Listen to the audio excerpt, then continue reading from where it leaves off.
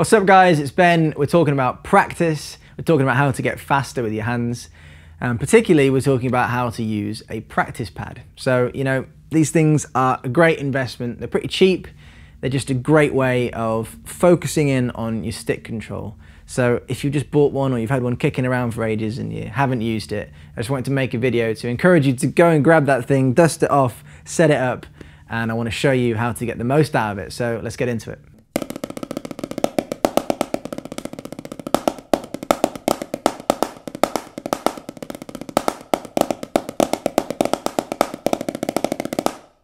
First things first, you got to set that thing up. So, you know, where you're going to put it, I would say best thing you can do is put it on a spare snare stand. But, you know, you might not have a spare one kicking around.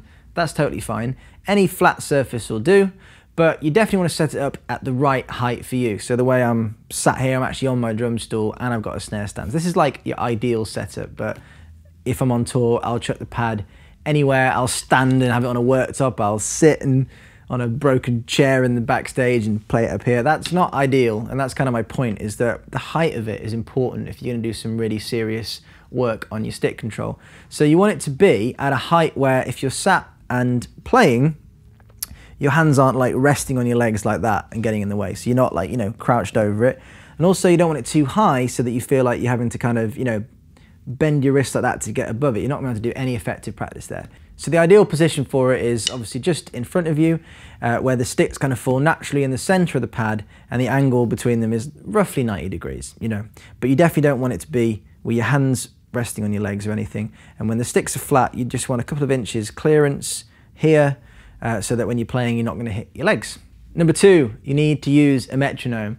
I know it sounds boring and it's like, well, why? It's because it will just make a ridiculous difference to you as a drummer you know, we all have an internal clock and naturally, you know, most of us don't really have like the strongest internal clock. We're not born as human metronomic robots. So actually having a metronome will train that internal clock so that when you're playing, you know, you will just become so much tighter. But when it comes to pad work, using a metronome is even more important because we're really going for like precision, we're going for those even note spacings and what we're working on, and we're building that just innate sense of time as well. Plus, if you're kind of going off on one and you're shredding or you're working on like flipping accents around, having something to keep the pulse for you is absolutely vital. So just get one of the free apps for a metronome. It doesn't have to cost you anything if you don't want it to. Get on it. So in terms of what to actually practice on the pad, I approach it pretty simply. You know, I work on fairly simple stuff if I'm sitting down to actually have a session on one, and that will be singles, doubles, paradiddles, so, you know, so like some of your basic rudiments. You know, I'll do six stroke rolls or flams as well and that kind of thing. I've actually got a video on my ultimate practice pad warm up if you want to see the actual set of exercises that I use when I'm on tour or just on a daily basis if I want to warm up my hands. So go check that out. But focus on the simple stuff. So singles, work on your doubles, work on your paradiddles, because that's singles and doubles. And really, like, that's all you need to, to build a great initial workout on a pad. If every day you just sat down and worked on singles, double paradiddles, you'd be flying. My next tip is to actually use a practice pad. It's no good just having one around if you don't use it.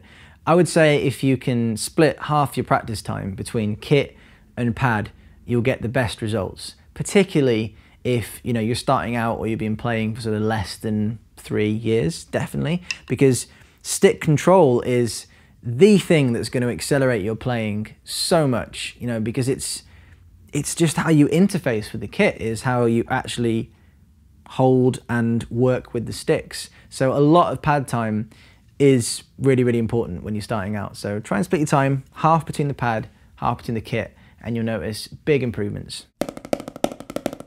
So you've been practicing for a while, you've been working on your singles, doubles, paradiddles, your rudiments, you've got your metronome going, you're practicing every day. That's awesome. Now what you need to do is make sure that you are actually watching yourself play. You need to be looking down at your hands and saying like, right, how's my technique?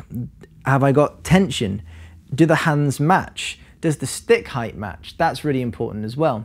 So you're really using that time behind the pad to be micro analytical and go, yeah, is this good? Is this bad? Like, you know, how does it look? Another great thing is to film yourself from the side so you get another angle, so you particularly of your hands and your sticks, or set up a mirror so you can see as well.